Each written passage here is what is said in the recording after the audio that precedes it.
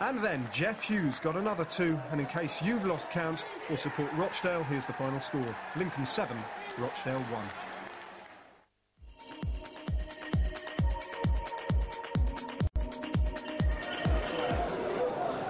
County taken square to Ashley Williams. Now then, crowd yelling him to shoot, so he does. Oh my word!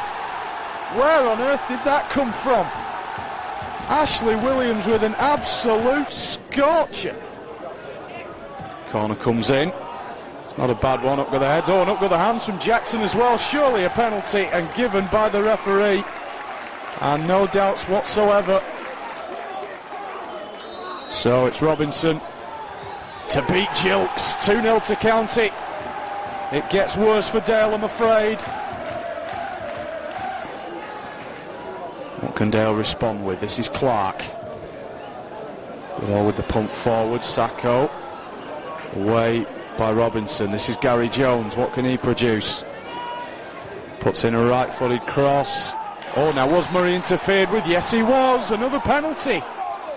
Sandy Lane has seen its fair share of penalties today, and Jones dispatches it. Dale back in the contest, and it's the captain with the crucial goal. Now this is James Sharp back to Gilks. He doesn't look well, James Sharp. He's uh, pulled up in the background. This could mean trouble for Dale. Dickinson onto this. Bramble, who is actually onside. Tes Bramble to finish it. Well, they've taken advantage of a James Sharp injury, but Tes Bramble won't mind. Is there anything left for Dale before the end of this 90 minutes? Sacco goes up, falls to Sacco again. Sacco, great save off the bar and away by County.